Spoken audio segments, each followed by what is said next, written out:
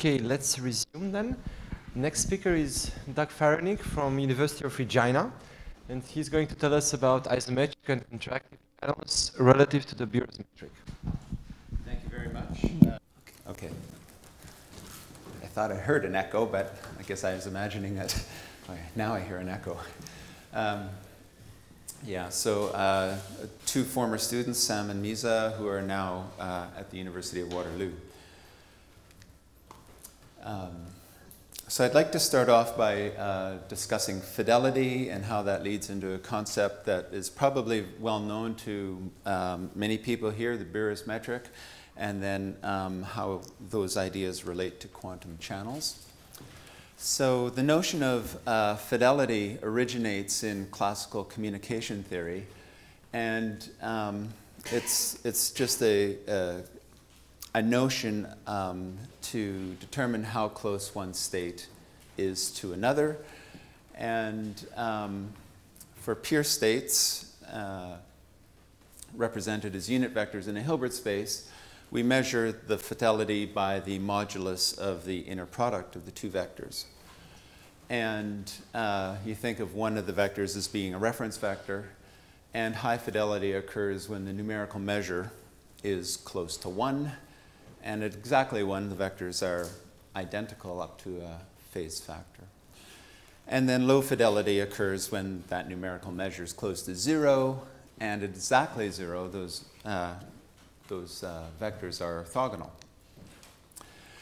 Uh, of course, that's, that's uh, classical and defined for uh, pure states. Um, uh, building on the work of Bures and Uhlmann, Jozsa in 1994 defined a notion of fidelity for mixed states. So um, this is in the context really of density matrices or, or trace class operators. Um, and so the fidelity of two states sigma and rho is defined to be the trace of the modulus of the positive square root of sigma times the positive square root of rho.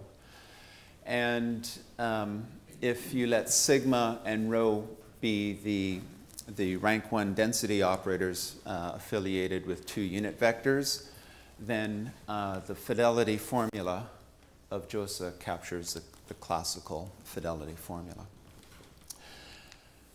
And um, through uh, body of work, uh, what's uh, shown is that the fidelity using Jozsa's definition um, is bounded between 0 and 1. And again, at exactly 1, we get that the states are, are identical, and at exactly 0, the states are orthogonal in the sense that the product is 0. Okay, now fidelity is, is, a, is a, a concept measuring how close one state is to another, but it's not really a metric in the mathematical sense of the definition. Um, uh, so, uh, oops uh, we have a different formula here. Um, so we take 1 minus the fidelity and then the square root, and that's called uh, the Bures metric. And it's actually, in fact, uh, not a trivial um, exercise to prove that it is a metric, although it is an exercise in uh, Hayashi's book on quantum information theory, but um, an exercise in the sense that the steps are laid out. And I'd like to just point out uh, two elements of the proof. Um, there's some interesting tracial operator inequalities involved, and um, the use of the polar decomposition is, is a requirement. All right. Uh, and again, as I said, this is called the Bures metric. So uh, what Sam and Misa and I were interested in doing is um, just looking at kind of like the algebraic uh, ideas that underlie the notion of fidelity and later on some a, a, particular result of Molnar that we are aware of concerning um, channels. So uh, what we'd like to do is um, put all of this into a C-star algebraic framework. So for the rest of the talk, A is going to denote a unital C-star algebra. Uh, uh, tau will denote a fixed, faithful, tracial positive linear functional, so we don't always require that the trace of the identity be 1, can be uh, something else. Um, and then with that fixed trace, uh, we can look at the corresponding density elements, and those would be the positive elements of A of trace 1. And if it so happens that A is a, a finite von Neumann algebra, then um, uh, we'll assume that the trace is also normal. So that'll be uh, the running assumption. And uh, so I just uh, like to tie this back to the lecture we heard yesterday from uh, Reinhard Werner, where we had um, Alice and Bob in infinity. And uh, so just a couple of examples um, to keep in mind, and this was one example that was mentioned yesterday. Uh, so we have the uh, infinite tensor product of the two by two matrices, uh, which can be viewed as the, the completion or closure of an ascending union of finite dimensional matrix algebras, 2n by 2n matrices. Um, comes equipped with a trace, and when we uh, restrict to one of these an, we get the normalized trace on the matrices. So in some sense, the, um, the trace here is unique if it's normalized, and um, the corresponding density space somehow contains all of the, the 2n by 2n density matrices. So that's one type of example. Uh, another one in the von Neumann algebra category is we'll take that same algebra, uh, do the GNS decomposition of the trace, um, and that will represent A as a unital C star subalgebra of some B of H for a separable Hilbert space H, take the double commutant of that, um, the, the, trace on uh, A extends to a trace on the double commutant N. And, um, and this is a known, well-known uh, construction of the hyperfinite 2-1 factor.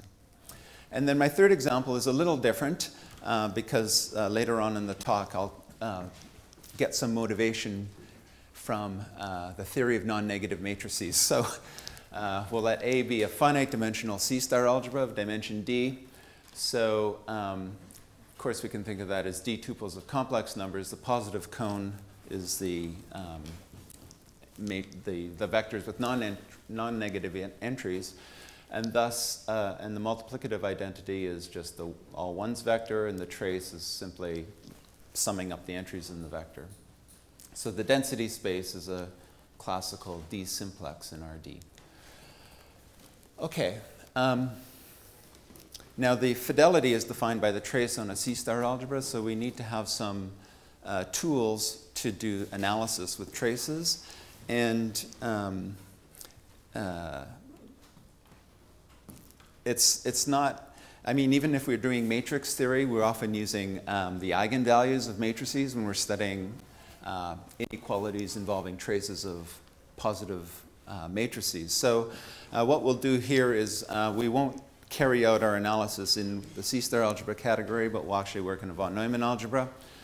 Uh, so, and in that setting, we have a natural notion uh, of uh, singular value or singular number. So just as a reminder or, or, as an introduction, if you haven't seen it before, um, if we have an element x in a finite von Neumann algebra and, and you know, we have our trace tau, um, then the tth singular number for uh, real number t greater than or equal to zero will be defined to be the, uh, this quantity here. It's the infimum of the norms of xe, where we allow e to range through uh, projections in n whose the trace of the complement is less than or equal to t. So if you take t equals zero, for example, what you capture here is uh, the e should be equal to the identity, and so you capture the norm. So it's, in the matrix case, the largest singular value is the norm of the operator. And then uh, just as an example of what we get with a projection, um, if f is a projection, uh, the singular number is 1 whenever t is strictly less than the trace of the projection, and it's 0 uh, for all other t. Okay, and then in, uh, if you apply this definition to matrices, you actually just cap recapture the, the classical singular values. Um, so uh, the, the, formula on the previous page somehow measures distance to operators of a certain uh, rank, you could say, or generalized rank, and that's exactly what we have in the matrix case. And um, we know that the trace norm of a matrix is given by the trace of its modulus, so that's the sum of the singular values. And in this setting, we can actually write it as an integral. I mean, this is kind of a, a trivial way to write this, or a silly way to write this, but in fact, I wrote it that way because it's a theorem.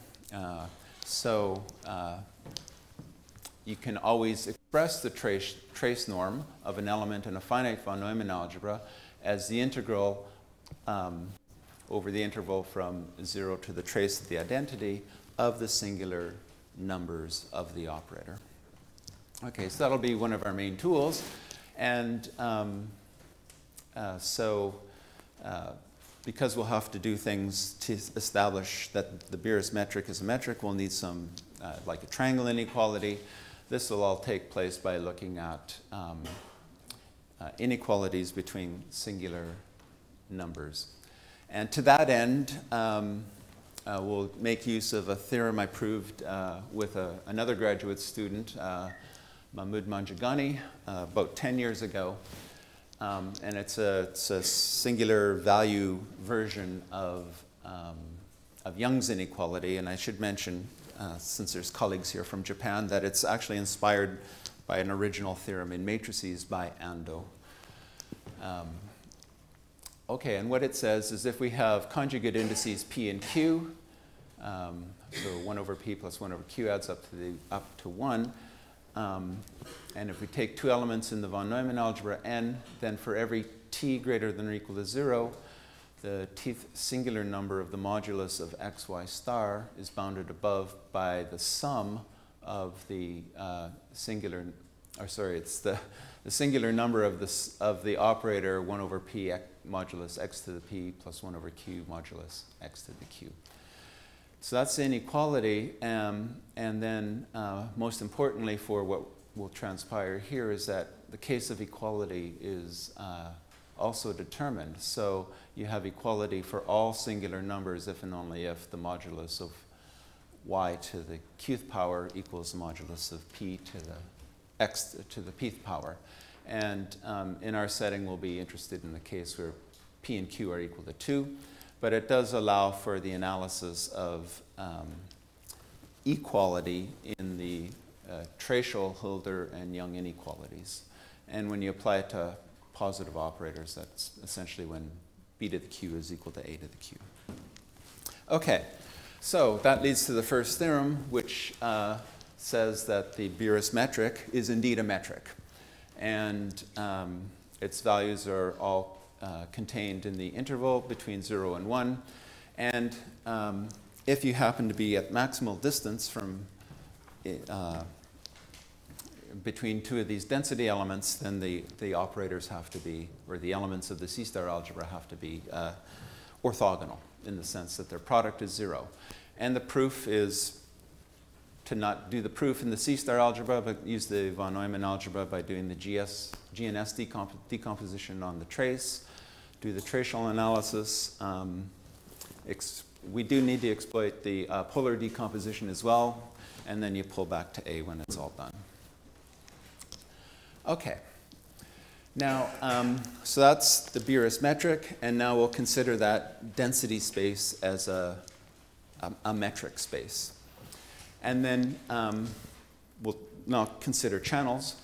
And so a linear map phi of A back into itself uh, will be called a channel if it takes the density space back into the density space.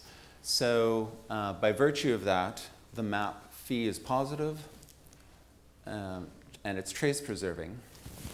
And if it so happens to satisfy a uh, Schwarz inequality, um, phi of x star, phi of x less than or equal to phi of x x star for every x in the algebra, then necessarily the, the map is unital. And if A is in a, a, finite von Neumann algebra, then we'll also require, when we use the word channel, we'll require that um, an additional condition, and that is that phi be uh, normal. Okay, so I'd like to point out one, uh, one thing here in my terminology. Using the word channel, I'm not assuming complete positivity. I'm only assuming positivity. That's a bit of a difference. Um, but uh, we, heard, we heard on Monday about a little bit about the Schwarz inequality, and uh, often, well, in fact, in, in nearly all of the results we have, this level of positivity is sufficient to get the kinds of results that we need. Okay, and uh, just, uh, just want to point out again that if we're talking about uh, the, the finite dimensional C-star algebra, then, then the channel, um, well, would of course be a linear map with non-negative, or matrix with non-negative entries, and a channel corresponds to a non-negative column stochastic matrix, and a unital channel would be a, a doubly stochastic matrix.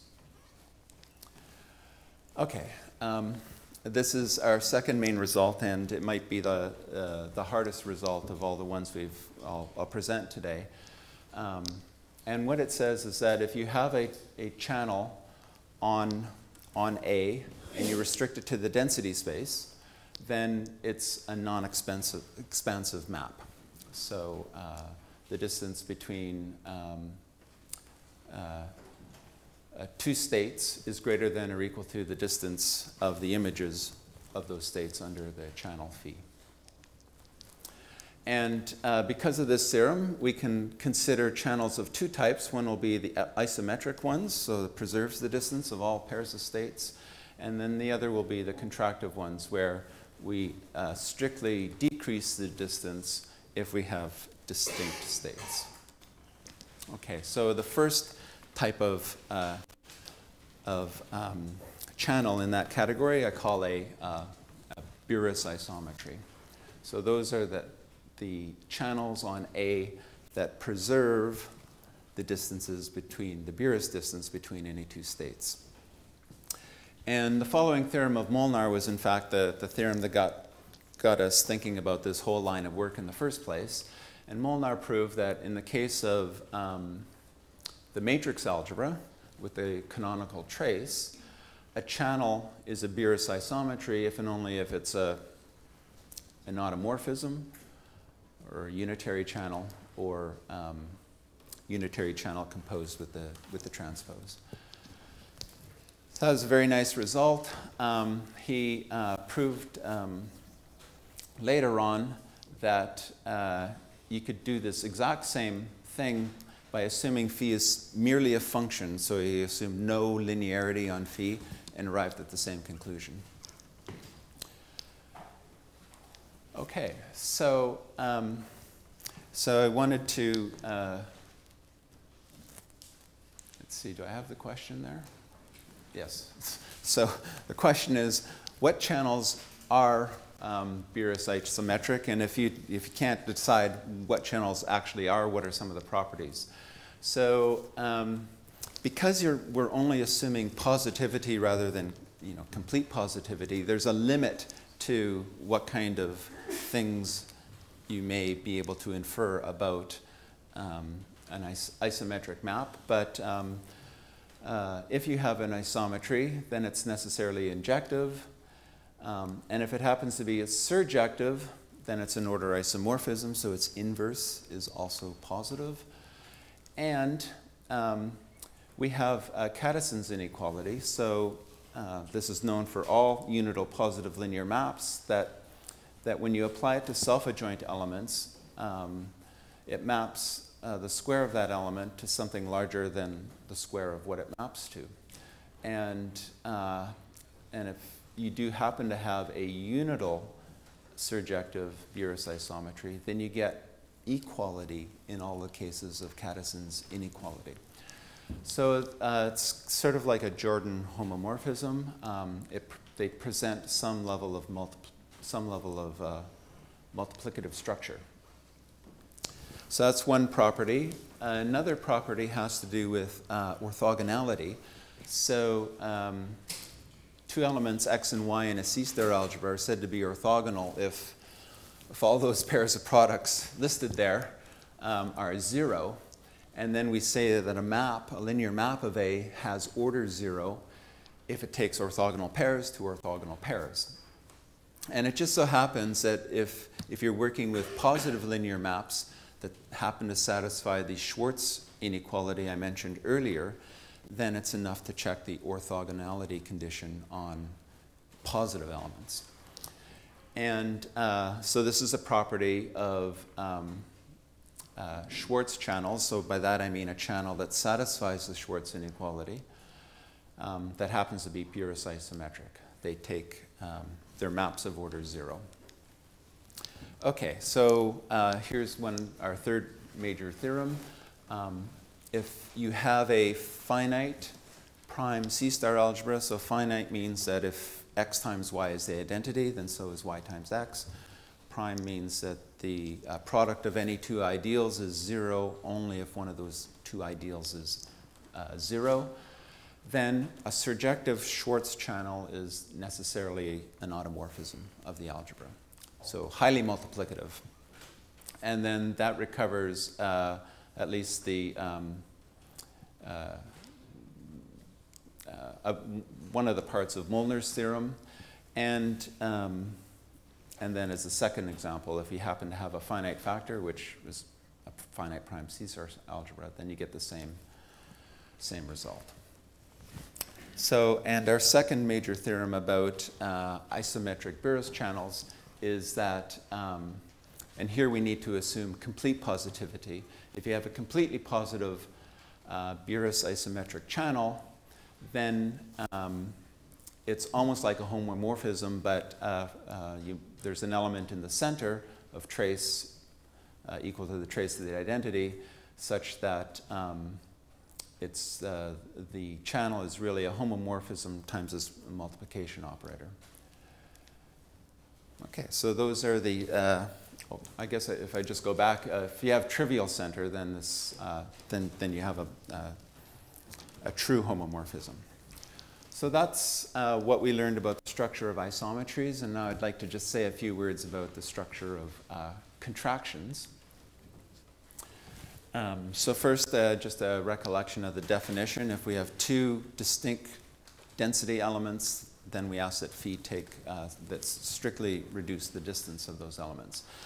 Um, and I'll just make a small remark here that uh, um, my use of the word contraction wouldn't coincide uh, precisely with the use of the word in um, the usual study of, of maps on metric spaces uh, because we're not, we're not uh, assuming that there's some uniform constant here. Um, now, there's lots of examples of, of um, contractive channels. In fact, they're norm dense in the space of all channels. Uh, so uh, a depolarizing channel is one example. And once you have one example, then you can produce other examples by taking convex combinations in which only one of those maps is Bures contractive. Okay. So uh, the previous section showed that uh, Schwarz channels that are Bures isometric um, have sort of multiplicative behavior. We expect the opposite thing to happen with um, contractive channels, and indeed that's the case. Oops. Uh, uh if you have a, uh, a contractive Schwarz channel, then its multiplicative domain is the smallest possible, and namely uh, uh, scalar multiples of the identity. And uh, once again, as we heard on Monday, the multiplicative domain is the largest C-star subalgebra of A on which the uh, positive map acts as a homomorphism. So it basically has no multiplicativity behind it. Um, now, uh, there's, there's a number of things you can say about uh, contractivity, but I'd like to to mention two things uh, before I finish, and that connects um, the theory of positive maps with um, Frobenius theory. And, and uh, there's two types of Frobenius theory, one that has to do with um, properties of how a, uh, a, linear transformation maps a cone back into itself, and the other is related to spectral theory. So I'd like to just mention the two here. So first we'll do the cone theory. Um, and uh, so we'll say that a, uh, a channel, well, actually, these are defined for linear maps. So a linear map, a positive linear linear map on A, uh, is reducible if it leaves a non trivial norm closed face of the positive cone of A invariant? And if we do the same thing in a von Neumann algebra and ask that our positive map be normal, then we ask that it, um, it be, we say that it's reducible if it leaves a, a non-trivial ultra-weakly closed face of the cone invariant. And if the maps are not reducible, they're called irreducible. So two uh, examples of irreducible maps. One, the first one is inspired by matrix theory, uh, theory of non-negative matrices. Um, so as we saw, those uh, a positive linear map in that setting would be a matrix with non-negative elements. Um, you can look at the graph associated with that, the directed adjacency matrix associated with that. So you'd have an arrow from node i to node j if the ij entry of that matrix is non-zero. And then it's uh, irreducible um, if uh, between any two nodes in the graph there's a directed path joining them. Uh, and then there's another way to uh, look at irreducibility for decomposable maps on the D by D matrices, and it has to do with the um, uh, uh, lack of common invariant subspaces among the, the Kraus operators. Okay. Um, and there's a nice uh, sort of dichotomy here that doesn't appear with matrices. Um, so just recall that if we take a positive linear map phi on A back into itself, um, and then if we look at the envel enveloping von Neumann algebra, A double star of A, then, then we get a map phi double star that takes its A star back into itself that's positive and normal.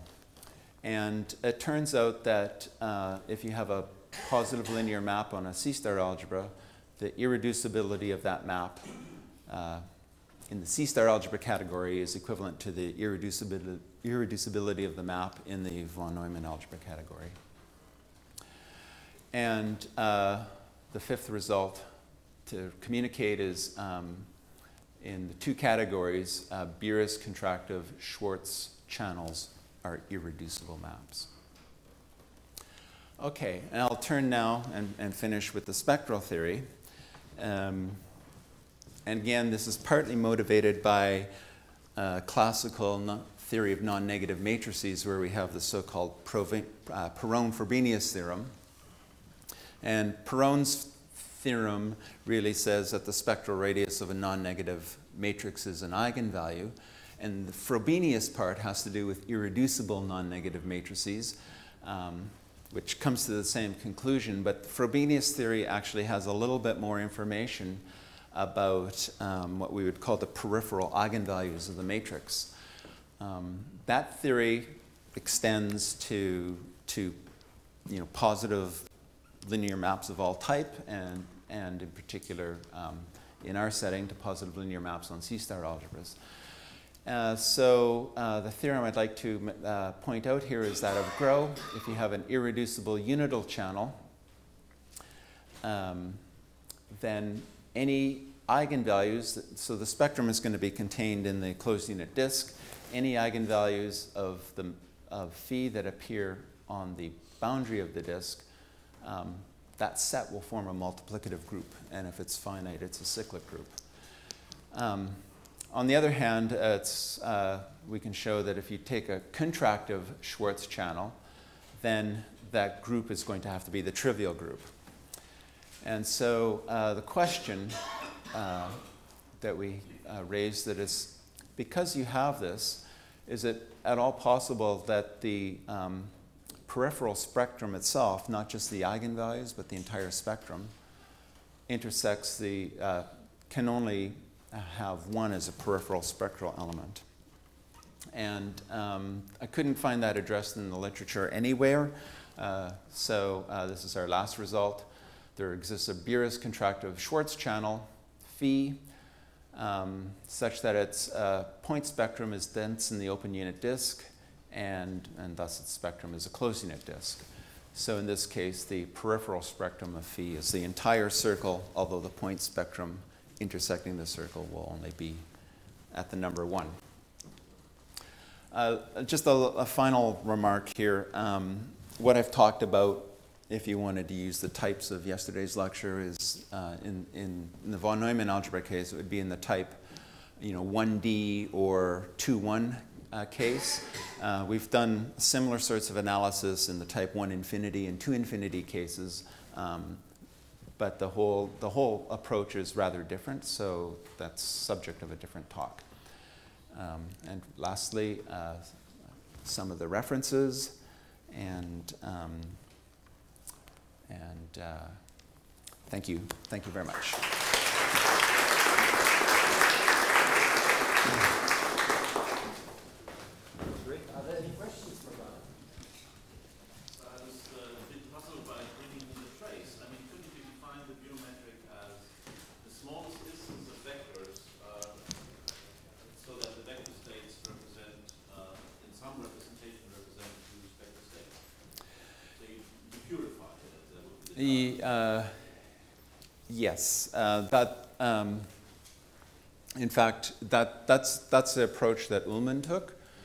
And um, uh, so there's, uh, um, there's, uh. Well, that's the same quantity in finite dimensions. Uh, but in, in, in von Neumann algebras, it's not necessarily, uh, uh, doesn't correspond uh, exactly to, to Jozsa's definition. So Jozsa's definition actually uh, um, really works best in, in the uh, setting of finite von Neumann algebras. So in the semi-finite case, there's some significant differences. Um, so we didn't actually pursue that, that line of thinking.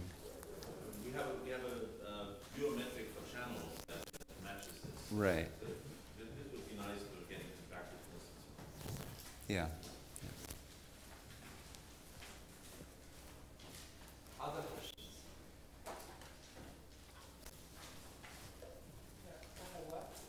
Besides uh, from officer, are there some examples of the channels at the property uh, order theorem? Uh, channels that Oh, uh, so maps of order zero. Um, so uh, if you're talking about completely positive maps of order zero, um, then uh, they will always look like um, they'll look like a composition of a multiplication operator by something in the center times a homomorphism. Um, and actually, that's a, that's a theorem of uh, uh, Winter and Zacharias um, for completely positive maps. Uh, when you reduce the level of positivity, I'm not entirely sure. So if you just, if, uh, so of course a unital, a unital completely positive map will um, satisfy the Schwarz inequality. Uh, but if you go to something that doesn't satisfy the Schwarz inequality, I, I, I don't know.